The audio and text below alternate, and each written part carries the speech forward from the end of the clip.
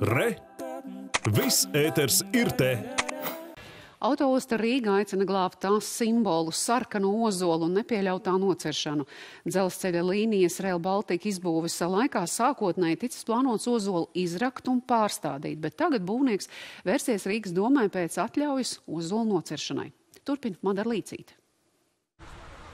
Dendroloģiski vērtīgais sarkanais ozols Maskavas ielā pie dzelzceļa uzbēruma tika iestādīts 1964. gadā līdz ar autoostas atklāšanu, jo drīzumā decembrī autoosta sagaida nozīmīgas pārmaiņas. Tās teritorijā sāksies dzelzceļa Rail Baltica izbūves darbi. Autoostas valdes priekšsādātāji skaidro, ka sākotnēji brūvprojektā ticis paredzēts, ka ozols tiks pārstādīts, taču negaidīta bija vēsts, ka būvnieks vērsies apstādījuma komisijā ar iesniegumu par ozolu nociršanu. Nav normāli, ka katru būvi būvējot, mēs iepriekšējo nocērtam un tad stādām atkal jaunus.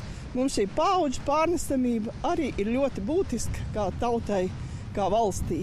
Ko darīt ar ozolu, līdztekus sabiedriskajai apspriešanai, lems arī pašvaldībā.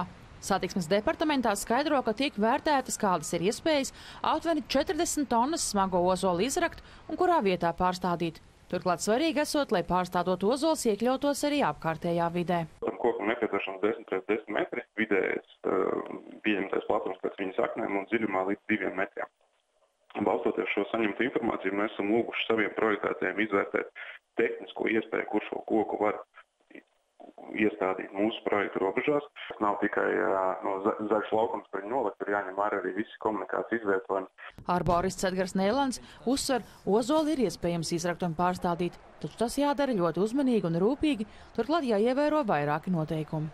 Tik un tā tas darbs ir izdarāms, vienkārši nedrīkst būt raupšs, neiecietīgs un nu, tad raujam nost vai kaut kā tāpat tās tev kā arheologam jāatrod tās saknes jāatrod veids, kā tur tie pamati, tad eh, kā viņus salauzt ar eh, kādiem instrumentiem.